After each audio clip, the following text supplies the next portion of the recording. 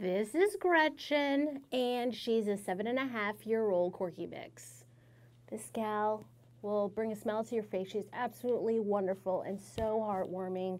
When you meet her, she'll have this beautiful smile. Look at her little her little white face. And she's just a mellow, easygoing sweetheart. She is so easygoing, loves people, really gentle when you meet her, and just is just such a, you know, such a bright little lady who just loves, you know, being who she is. I mean, she's so calm and chill. She is great on leash. She has this wonderful walk. She kind of bounces up and down with this permanent smile. It's just so heartwarming. It just it's so infectious, huh?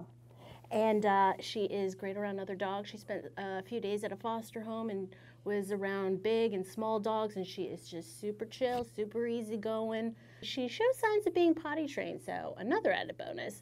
But overall, just a really gentle, easygoing, low maintenance gal. She is perfection.